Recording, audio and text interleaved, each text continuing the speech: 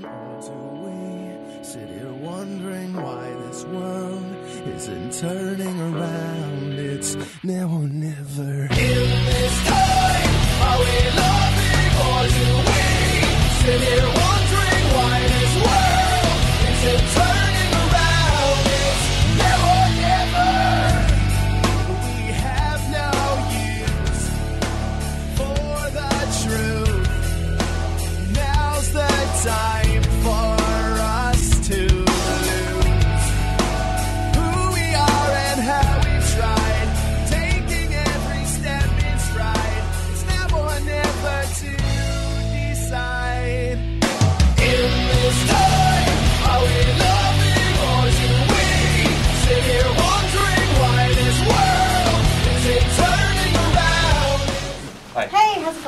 going? Fine. Good.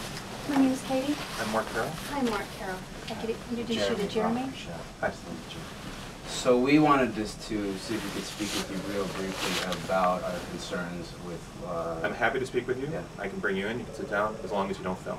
I can't, I cannot be interviewed, the congresswoman, I don't have the authority to be interviewed.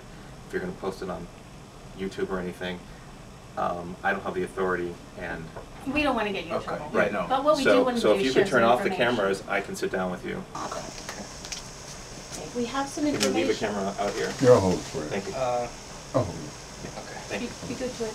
Yes. Okay, come on. All right, thank you. Appreciate it. that she's also trying to work on getting the vagueness of the language changed. Right. Um, and you know, this is obviously all hearsay.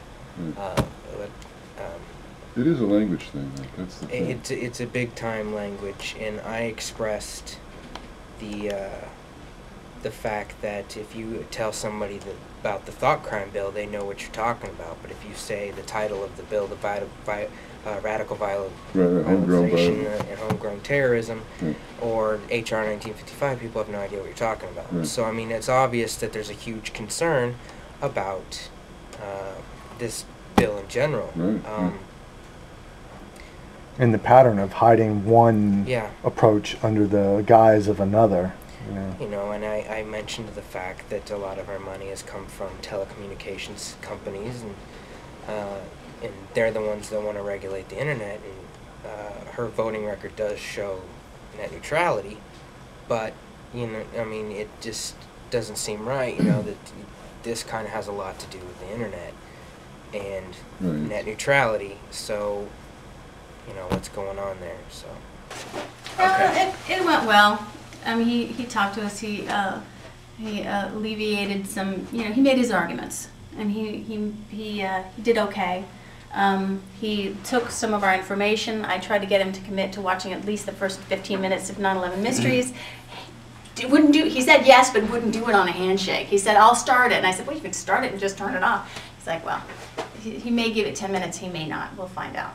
Yeah, and, and he, he explained that, that the Rand Corporation didn't write the bill, that it was written by the offices of uh, Harman's office and then Reichert's office.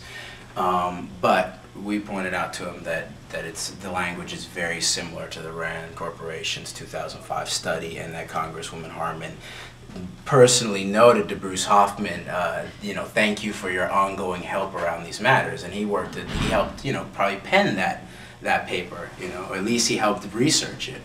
So, and then, and then part of the other point that we were, wanted, we were making is that beyond the bill itself is the fact that we, as a group of people, the 9/11 Truth Movement, have crucial information about how you stop terrorism. Mm-hmm. If she's serious about it. if she's That was serious good about it. She, um, they seem to be well versed on people's issues.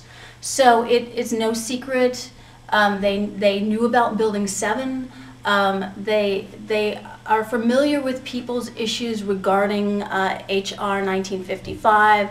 Um, it seems as though the outcry has been large and. Um, and pervasive, and they are concerned about her reputation, and they are sending something to us, which is a letter that was uh, written to the ACLU, um, basically stating, "We are sorry we made it so broad." I'm not going to say what it says because I don't know, I haven't read it. But what he is saying it says is that the language was very broad. If we had had um, this uh, this come up, we would before we introduced the bill, we would have adjusted uh, our apologies, and we're trying to see if, if the Senate will fix it in committee to, before it goes on the floor for a vote because they don't want the the uh, bill completely killed. And then they, he, he, her aide was, he was not, um, he was not aware of Architects and Engineers for 9/11 Truth as a group. So we gave him one of their cards, and um, along with 9/11 Mysteries, Richard Gage's uh, lecture and presentation, PowerPoint presentation, and then also explain explain to him that you know if, if the congresswoman is serious about stopping terrorism then we we have experts from all areas of professional expertise that can help her you know help her understand the the state's uh, role in all of this. She also, he also stated that Jane Harman had no control over the uh, Wiesenthal presentation in front of Congress. That um, what that if 9/11 um, Architects and Engineers for 9/11 Truth was jammed in between two jihadi sites, that she um, didn't know and was not in control of um, of how they made their presentation. And and yet, though it being done in her presence, she, although she didn't have control over the presentations themselves, endorsed it. She not only yeah, she not only endorsed it, she sort of evoked more stronger language from from uh, the entire panel about how you know these this type of stuff on the internet was radical, you know, making people move towards potential violent radicalization. Did he have anything, did you say that to him? Mm-hmm. Did he have anything to say to that? Um, I not that I remember. He sort of. mm-hmm. yeah. and So he's taking yeah. in our concerns. Whether or not he's going to do anything about it, um, He was he was he was pretty receptive and he was uh, very willing to en- engage you know back and forth in dialogue and you know he mentioned the fact that that's part of the commissions the centers of excellence and the commissions that they, this bill is going to sort of put forth has not only to do with studying sort of terrorism in this country or the potential of domestic terrorists in this country but of of, of studying uh, other countries uh, relationship with that type of um, development and he mentioned the bombing in London and bombing in Madrid so I uh, so that they would know what. To do here. They also said, and I don't know if this is correct or not, I have to read the bill again, that um, these centers for excellence don't have subpoena power. So the whole McCarthyism scare um, may or may not be warranted, um, but I have to review the bill and and, uh, and see what it actually says. Yeah, and, and it even even if the, the, the, the bill itself doesn't uh, legally give these commissions subpoena power, the, it, it, what it, what we both agree on is that it's it's civilly, civically eroding, further eroding dissent in this country, and you know, and and he, he himself sort of listed a series. He, he understood the idea of pro- historical provocations sponsored by the state, the U.S. Mm-hmm. Maine. He brought up Tonkin Gulf. Yes. So so there so he's aware of that, and so you know I think maybe in some ways it's just a very big leap for people to make to think that you know that.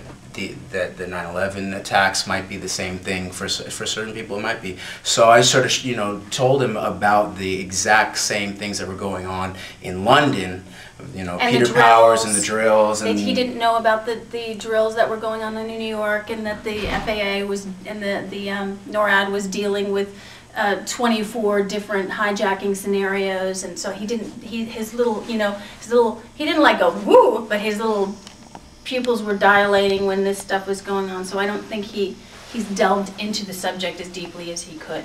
And perhaps now he will. Yeah, and being that Harman is has uh, experience and history in the Intelligence Committee, then she needs to be on the ball about this. Um, so.